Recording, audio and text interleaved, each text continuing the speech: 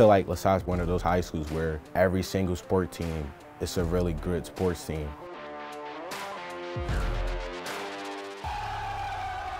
Joining a team or a club, it really gives you that sense of brotherhood that I think most kids look for at La Salle.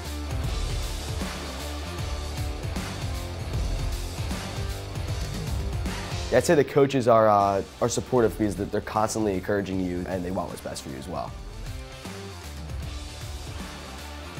We have everything on campus that we could ever imagine.